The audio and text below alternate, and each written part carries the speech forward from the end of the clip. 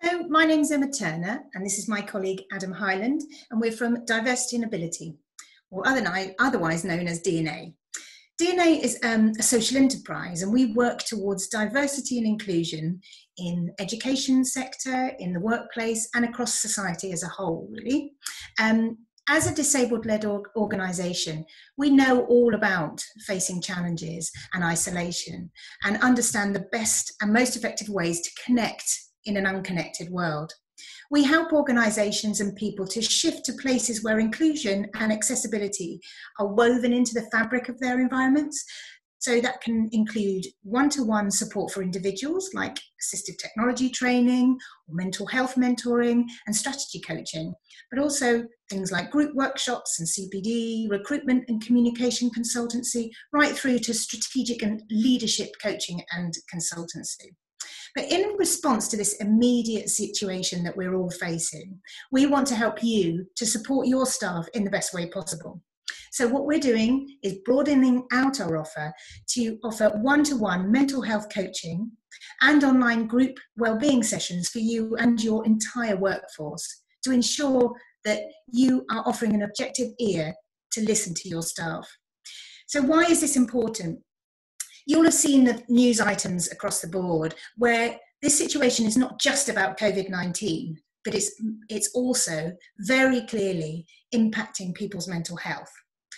And it's what we would like to do is support the well-being of your entire workforce and because it's never been more important right now so how you hold your employees through this situation will really impact positively or negatively on how well they return to work once this rather peculiar situation is over. So just to help us, I'd like to um, ask a few questions to Adam um, uh, that will hopefully give you a little bit of more information about how it, why this is important. So, Adam, when do you know that you and or your team would benefit from some one-to-one coaching or support? Well, thank you, I think that's a really good uh, and important question, and certainly not an easy one to start with, uh, because I think the answer is that you don't know when people need it.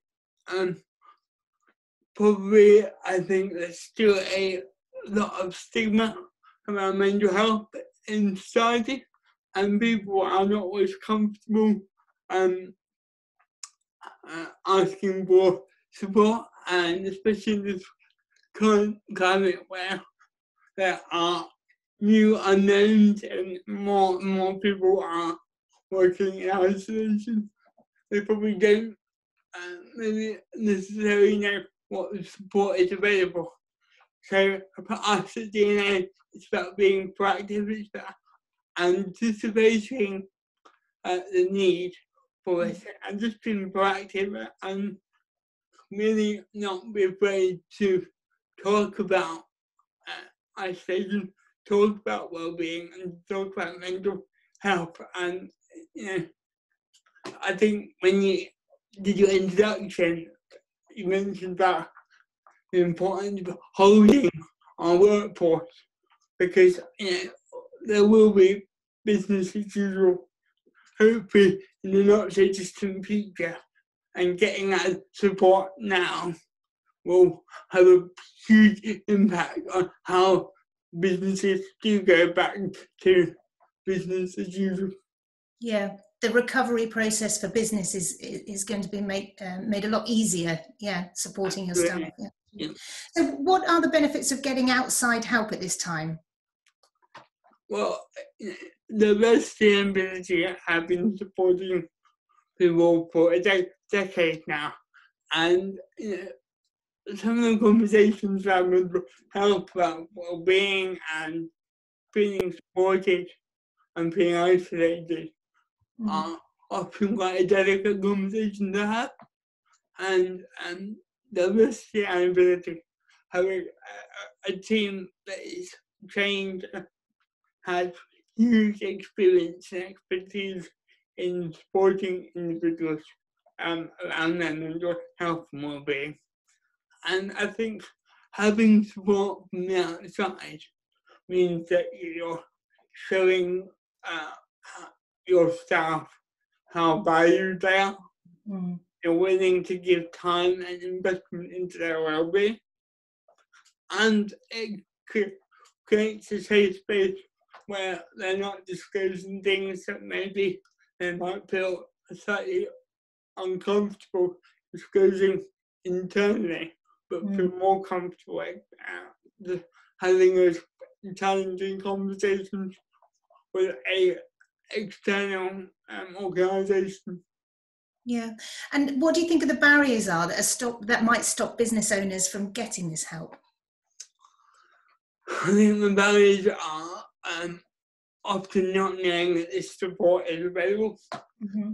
And it's not a new support mechanism. It's you know, we, we've been offering um, well-being and mental health uh, um, services for uh, many years now. I think knowing about it um, is a huge barrier, and I think maybe understanding that there's a huge business case for this. It's not just about doing the right thing. It's about protecting your workforce, protecting your business, so that when we do go back to business as usual, um, the, the staff and the workforce feel ready to come back fighting and, and really hit the ground running.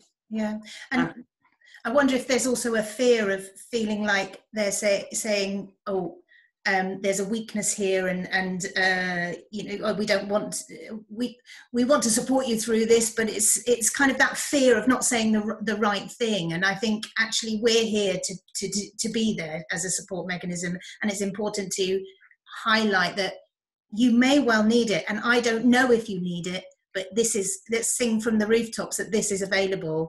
And it's not about saying i think you need mental health support so therefore this is here. Is actually for everybody. Who might need it at different points in time. We all have physical health and that sometimes we're physically well and sometimes we're less well. And it's exactly the same with mental health. And right now we're facing bigger challenges. And it's about culture if we can create cultures in organizations that are willing to have these conversations, be transparent, be open, be confident about uh, being, being able to provide these support mechanisms. I think attitudes will change. Mm. I think more and more employees will feel comfortable yeah. accessing really important and, and needed support. Yeah. So, in summary, um, you know, we've been doing this kind of remote support for many, many years, over a decade. We're well positioned to understand the challenges that people face um, and diversity and inclusion is good for business, full stop. There's heaps of research out there that will back that up. Just Google it. and uh, during this time is an ideal ideal opportunities to start shaping and planning for your inclusive workplace when we return to it. So um, we can help you with that shift. We can make it achievable, fit for purpose, and hopefully enjoyable. Yeah, so uh, if you want to find out more and uh, please do get in touch and we'll be more happy to share our uh, expertise and, and we'd love to collaborate and support you in your dreams. Brilliant. Our website is diversityandability.com.